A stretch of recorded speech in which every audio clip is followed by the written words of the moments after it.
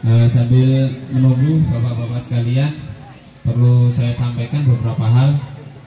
Eh, sebelumnya saya mohon maaf karena seharusnya Bapak Kapolsek yang harus berada di tengah-tengah kita yang berbicara di depan, namun beliau mewakilkan pada saya sehingga sedikit ada gangguan teknis. Ya, sini akan saya bacakan maklumat Kapolda Kalsel untuk maklumat nomor 01 tahun 2014 tentang larangan membakar lahan dan hutan. Untuk poin 1 kepada seluruh lapisan masyarakat dan pelaku usaha di bidang kehutanan, perkebunan atau pertanian dilarang membuka lahan atau land clearing dengan cara membakar. Ya. Untuk nomor 2-nya apabila menemukan titik api di lokasi lahan milik sendiri ataupun milik orang lain agar segera melaporkan kepada pemerintah setempat ya. Baik itu instansi terkait desa baik itu TNI maupun Polri.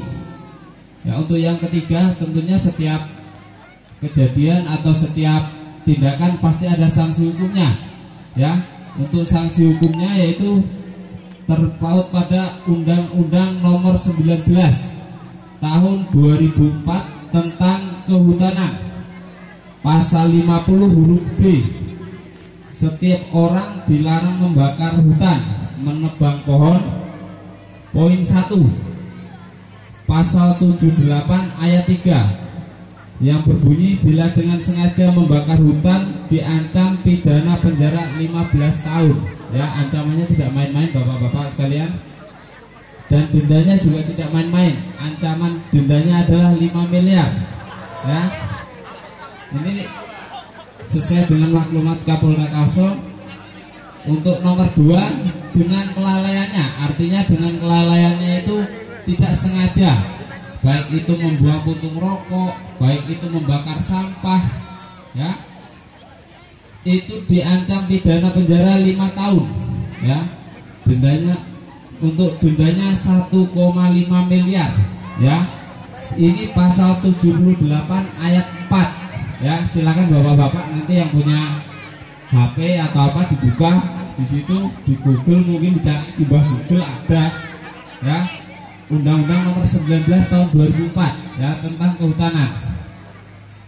Untuk yang kedua Undang-Undang Nomor 32 Tahun 2009 tentang perlindungan dan pengelolaan lingkungan hidup pasal 108 yaitu melakukan pembukaan lahan dengan cara membakar diancam pidana penjara paling singkat. Ya paling singkat itu paling rendah. Jadi tidak bisa lebih rendah dari yang ada. Yaitu paling rendah tiga tahun dan paling lama 10 tahun. Jadi paling rendah tiga tahun paling lama 10 tahun. Jadi ini melebihi undang-undang yang lain karena dampaknya memang sangat sangat berbahaya. Perlu kita ketahui tahun 2015 kita banyak sekali sampai kabut asap di mana-mana bahkan ada satu minggu ya tahun kemarin itu satu minggu full kita jarak pandang cuma sekitar 20 meter ya. Jadi perlu diketahui bahwa dampaknya sangat berbahaya baik itu bagi anak-anak maupun dewasa ya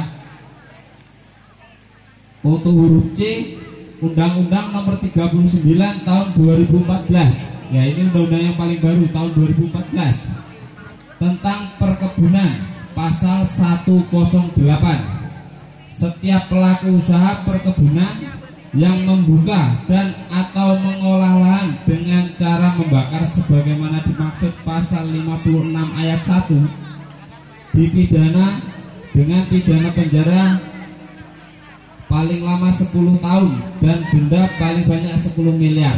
Jadi perlu diketahui bapak-bapak ya bahwa membakar lahan baik itu kecil ataupun besar intinya di sini tidak diperbolehkan ya apabila menemui lahan yang terbakar baik itu di lahan pribadi maupun di lahan tetangga yang jelas apabila melihat segera laporkan ke pihak desa atau ke kepolisian setempat.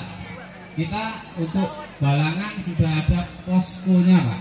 Ya, untuk poskonya untuk di Kecamatan Halong berada di BPK Kecamatan Halo ya untuk di Polres ada di dekat pos lantas ya di simpang 4 Paringin ada terminal di situ tempatnya ya jadi kalau untuk laporan silakan di situ ya dan KUHP Kitab Undang-Undang Hukum Pidana Pak. Jadi bukan hanya undang-undang tentang kehutanan ataupun pengelolaan. Bukan hanya pengelolaan lingkungan hidup tapi KUHP pasal 187 dengan sengaja melakukan pembakaran diancam pidana penjara 12 tahun Pak. Jadi undang-undangnya ini berlapis. Ya jadi apabila ada bapak-bapak ibu-ibu sekalian melakukan pembakaran tentunya dikenakan pasal berlapis ya pasalnya yaitu Undang-Undang Nomor 19 Tahun 2004 Undang-Undang Nomor 32 Tahun 2009 Undang-Undang Nomor 39 Tahun 2004 dan Kitab Undang-Undang Hukum Pidana.